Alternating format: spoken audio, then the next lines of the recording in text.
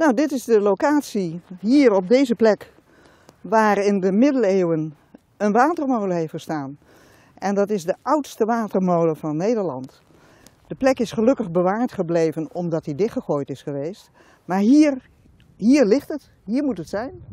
Aan de oever van het destijds meanderende riviertje de Hunse bij Bronniger heeft in de vroege middeleeuwen een bijzondere watermolen gestaan.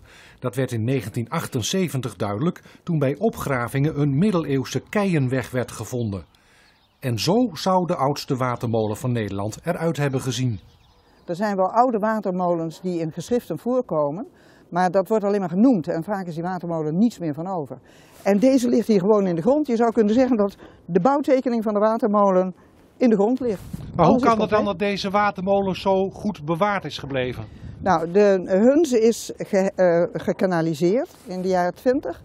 En hier, waar die watermolen ligt, die ligt precies in een haakse meander die onder het schouwpad terechtgekomen is. Men wist helemaal niet dat het er lag op dat moment.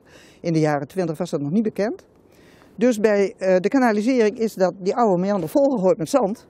En dat was eigenlijk de redding van die watermolen. Vijf inwoners van Bronniger doen nu een poging om de watermolen, die werd gebruikt om het graan van boeren uit de omgeving te malen, weer op te bouwen. De molen kan een stimulans zijn voor het toerisme. We zijn vorige zomer begonnen. We zijn eigenlijk nog maar een paar maanden bezig. Van de winter heeft het even stilgelegen.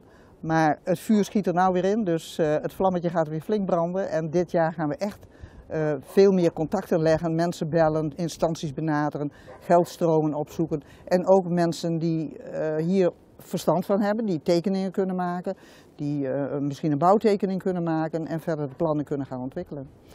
Dus het, het stadium is nog pril, maar er zit schot in.